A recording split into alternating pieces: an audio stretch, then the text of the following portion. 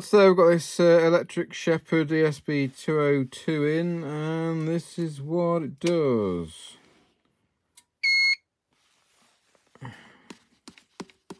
Doesn't turn on, as you can see.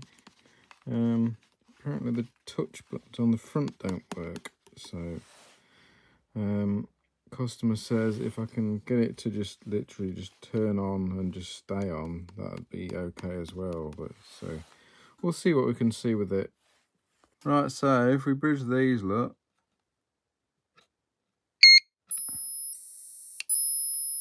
Turns on and works.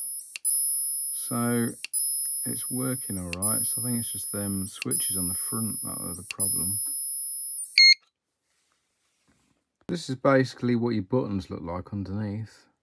It's this film, like.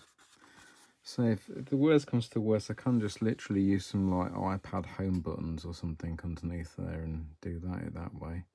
Just gonna have a look at this, see if I can sort this. I think the film's pretty corroded. I think that's probably the problem. So I've taken the film apart, cleaned it with some isopropanol, see whether it actually sorts it out or not. Does that work? Indeed it doesn't. So yeah, somewhere in there is corroded, so it doesn't work. So what I'm going to have to do is to, uh, to make something with it. Right, it's a bit of a creative method. So I've used wire to uh, basically glue these onto the traces. Uh, and uh, now it actually appears to work with the, uh, or with the multimeter it does anyway. Let's plug back in. There we go. Ghetto Fix works.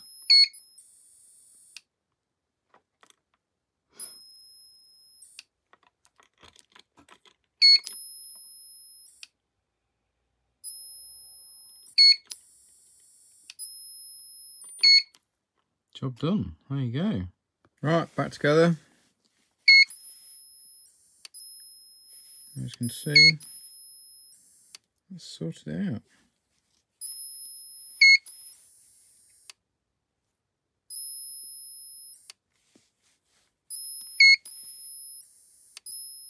Job done.